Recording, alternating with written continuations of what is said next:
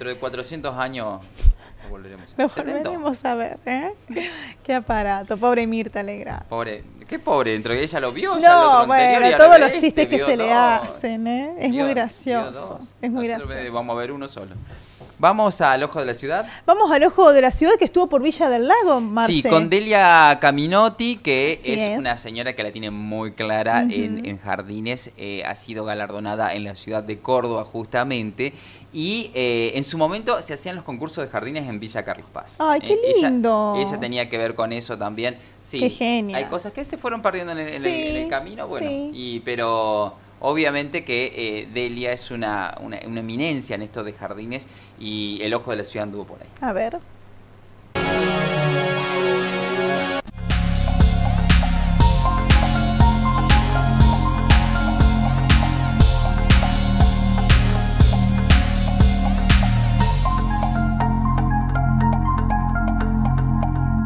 El diploma lleva la firma del intendente de la ciudad de Córdoba y está dedicado a Delia Caminotti, una distinción. Delia Caminotti es una mujer con mucha vida social en Córdoba, pero que vive en Carlos Paz. Y está de colado Don Tórtolo, que vino acá no sé para qué, pero vino de colado. Delia Caminotti, ¿me va a seguir dando bolilla ahora que es multipremiada? No. Sí, Eh, me va a yo soy dando. siempre, yo soy siempre la misma. Eh, no hay un antes y un después. Es todo igual. Eh, cuéntele a la gente de Carlos Paz eh, qué, es lo que le han qué, qué es lo que le han otorgado en, en- en- en Córdoba. El nombre, el nombre a qué le han puesto. Al auditorio le han puesto, es decir, después de muchas eh, negaciones, porque a mí los halagos yo les cuerpe- los cuerpeo, eh, me- y además estaba vulnerable. Y entonces eh, la calidez de los empleados del Jardín Botánico, que son mis amigos, eso me decidió aceptar. Bien. Pero no soy mujer de halagos. De manera que esto no lo tomo como un, como una, como un mérito, sino como un compromiso. Un compromiso para seguir trabajando y colaborando en el, en el botánico para que en nuestro espacio, el pequeño espacio que tenemos dentro del planeta, podamos hacer uno mejor. Me encanta eso.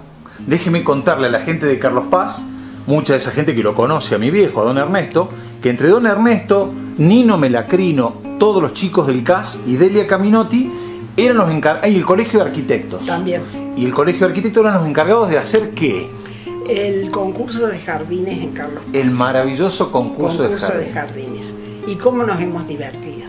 Sí, ¿no? Sí, nos hemos divertido porque había que, eh, la gente se inscribía y después nosotros teníamos que ir a visitar el jardín.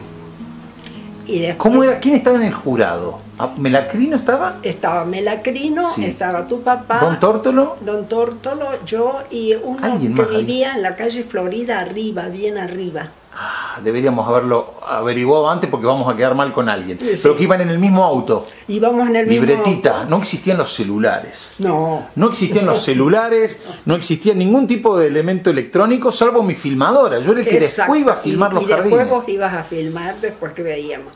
Eh, ¿Y, qué se, pasaron- y qué- y se veía el jardín? El concepto era había que mirarlo desde la vereda. Creo que no se podía sí, entrar, ¿no? No se podía entrar, exactamente. Después tuvimos que algún problemita que fue los que tenían negocios se inscribían en el jardín, pero entonces era propaganda para el negocio. Querían salir en la tele. Exactamente. Eh, pero fue una cosa muy linda porque la gente se, se, se había entusiasmado Sí, con sí. esto del concurso de jardines. ¿Cuántas ediciones fueron? Tres o cuatro. Tres o cuatro bien. ediciones. Tres estoy segura. Los premios eran con, con eh, impuestos. Impuestos, O sea, no se movía dinero, pero se ahorraba, Se eh, ahorraba plata en impuestos. sí. ¿Y, qué, y qué, qué miraba usted para premiar un jardín? ¿Qué-? Tenía que ser muy... Tenía que tener muchas cosas o a Teníamos- lo no, habíamos, hecho, no. habíamos hecho un código en el cual teníamos que fijarnos primero eh, la prolijidad, el diseño, eh, sobre todo el diseño y las plantas que estaban y los también los errores. Errores también, Sí, se restaba cabeza- puntos. Sí, había cabezas de vaca. Elementos enanos de jardín, ¿se Eh, acuerda? también. Los enanos. Y las, las ruedas de carro. ¿Y cómo hacía usted para decirle a una persona que el enano no era lindo, Delia. No, no, él No, es- es, es difícil eso. A lo mejor estaba orgullosa el enano de jardín. ¿Y una, una, una planta autóctona ayudaba? ¿Sumaba puntos? No, sí, sí, sumaba puntos. Sumaba puntos, aunque no, no tanto como se está implementando ahora el cultivo de plantas nativas, ¿no? Pero en aquel entonces vos veías, por ejemplo, una Cesalpinea guiliensis, Ahí está. que es la barba de chivo o mm, peyorativamente la lagaña de perro. La gaña de perro. que con Melacrino presentamos un proyecto en la municipalidad declarándola la flor, eh, La flor típica de la Carlos flor Paz. típica de Carlos Paz. Repítame el nombre en latín, por favor. Cesalpinea guiliesi. La barba de chivo tan linda que tenés en tu casa. La que tiene Don Tórtolo ahí, Sí. que se lleva toda la foto de la gente que camina al Erigoyen. Sí, Bueno, Delia, eh, sigue manteniendo el jardín sigo maravillosamente a pesar de la pandemia y a pesar de la sequía. ¿Qué le dolió más a Delia, la pandemia o la sequía del trabajando. 2020? sequía, La sequía. Sí, la sequía. Eh, me martiriza ver a mis plantas cómo se secan, porque se han secado, se ha secado un árbol entero. Eh, además, una sequía muy, muy agresiva, porque no es solamente la sequía, sino también el estrés hídrico del ambiente. Eso es lo peor. Y Defíname, el explíqueme qué es el estrés hídrico del ambiente. Es eh, el ambiente sin humedad. Ajá. ¿Y ese viento que te pega en la cara? ese, ese viento deseca, el, el viento que deseca, deseca por lo tremendo. Y además el sol, que está mucho más agresivo que otros años. Lo veo progresar al sol. Eh, me decolora los cactus. Incluso tuve que hacer un espacio porque en mi casa hay mucha, mucha piedra, todo está construido sobre roca. Ujú. La casa, empezando, y las rocas de abajo del parque, eh, y los cactus, eh, que siempre uno dice son estoicos, Sí. eh, sin embargo, Sin embargo. se, se decoloran, Ajá. se decoloran. Algunas variedades, ¿no? Hay otros que no, que son muy resistentes. Delia, eh, se la ve espléndida. Ahí hasta mi viejo recién tiene unos piropos y... No, no, pero está igual, está igual, no, usted no ha cambiado nada, su No, ya estoy en el... Yo no sé si... todavía Usted dijo la edad recién, yo no se le iba a preguntar. 88 años. 8.8. 8.8 con orgullo lo digo. Pero ¿cómo? Más vale. Y sobre todo con las arrugas que son mi, eh, siempre digo un código de barras, Bien. pero, pero que hay que lucirlas. Hay que lucirlas. Hay que lucirlas porque es experiencia y porque no tenemos esa idea de que uno tiene que esquivarle el envejecimiento. La Hay que aceptarlo. Hay que aceptarlo. La vejez tiene experiencia, tiene consecuencias, pero todo eso, si uno lo sabe capitalizar, es eh, el- una de las etapas más lindas de la vida. Les vuelvo a interrumpir para que la gente sepa algu- algunas vivencias de las que he tenido. Gracias a esta mujer, gracias a Delia, yo conozco dos lugares de Córdoba que no hubiera podido ingresar. Va, la estancia La Paz, capaz que hoy, después terminé yendo Hoy con, es peor. con- terminé, ah, ahora está complicado. Pero yo llegué a ir con Fiat eh, a una muestra de. Sí. Pero yo fui con, a- con Delia Caminotti y con todas las chicas de, del, instituto. de, de- qué grupo era en ese momento? El grupo ¿De era eh, Jardines. Estaba la Pupi de por nombrar una conocida sí, de Carlos Paz. La Pupi me conectó con usted, Delia, Sí. y me llevaron de camarógrafo. Era el único hombre que iba en el grupo. Como con Exactamente, 40 sí. mujeres, creo que Más era. con el dueño, con el Exacto. Y después fuimos, entonces. pero más lindo que la estancia La Paz, la estancia Las Barrancas. Las barrancas. Otro día me va a contar la historia de Dulce Liberal de Martínez de Oz. Sí, cómo no. ¿Eh? cómo no. Sí, y vamos sí. a recuperar esa filmación de 1995, 94, Por ahí. 95 que Muy por ahí la lindo, tengo. Eso fue muy, muy lindo. Bueno, Muy lindo. ¿por qué Carlos Paz eh, la, sigue, la sigue teniendo acá? ¿Por qué no se va a Córdoba?